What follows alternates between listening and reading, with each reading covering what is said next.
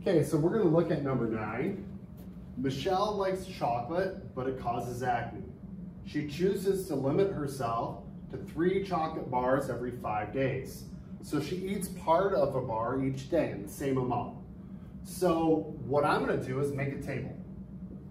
So if we have the day, and then I'm gonna put CB for chocolate bars. On day zero, the start, she starts with uh, three chocolate bars. And then we have day one, we don't know. Day two, we don't know. Three, four, and five. So on day five, she's down to zero chocolate bars. And we have to figure out, well, what's that counting by?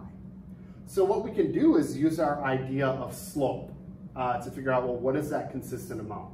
So if you remember for slope, m equals y2 minus y1 over x2 minus x1. Or in this case, the y counts here, so 0 minus 3. Over, we would have 5 minus 0. So we have negative 3 over 5. And negative 3 over 5 is minus 0.6. So what we do is we start at 3, and then we subtract 0.6. So to model that, let's double check to make sure. 3 minus 0.6, 2.4. 2.4 minus 0.6, 1.8. 1.8 minus 0.6, 1.2. 1.2 minus 0.6, and that does work, 0.6. So this is an arithmetic series.